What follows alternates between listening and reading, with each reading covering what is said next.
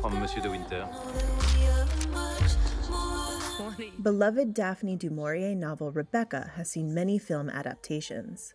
The latest, starring Lily James, Armie Hammer, and Kristin Scott Thomas, will be released on Netflix on October 21st.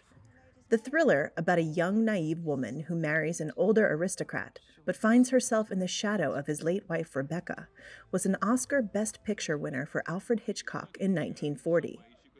But director Ben Wheatley believes his version to be the closest to the 1938 novel.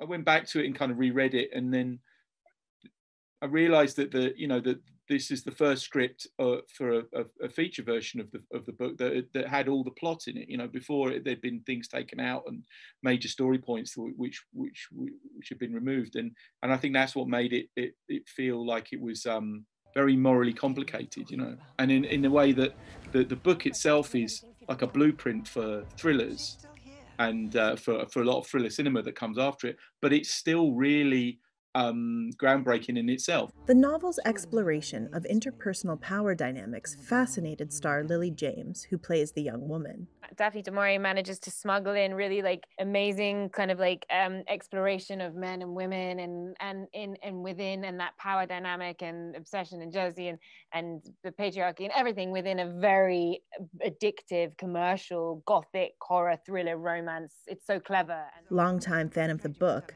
British actress Kristin Scott Thomas said she was thrilled to be cast as the manipulative housekeeper, Mrs. Danvers.